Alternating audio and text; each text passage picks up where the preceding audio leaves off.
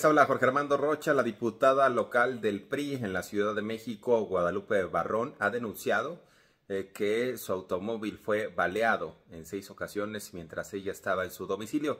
Según eh, los priistas y según la versión de esta diputada, esto está en relación eh, con la votación de la ratificación de Ernestina Godoy como fiscal en la Ciudad de México. Ellos aseguran que son perseguidos políticos y están siendo intimidados eh, por eh, personas eh, cercanas a la fiscal.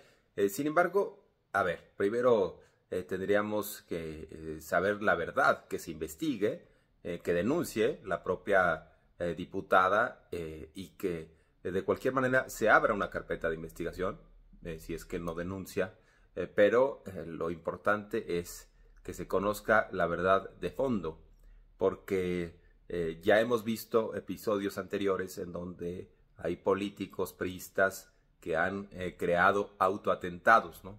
Eh, para decir, soy perseguido, eh, me están intimidando, me están tratando de amedrentar. pero bueno, veremos en qué termina este asunto. son varios los usuarios en las redes que he leído que dicen hay que investigar la posibilidad de un autoatentado. De cualquier manera que se investigue. Si hubiera algún responsable, que se castigue a quien se tenga que castigar.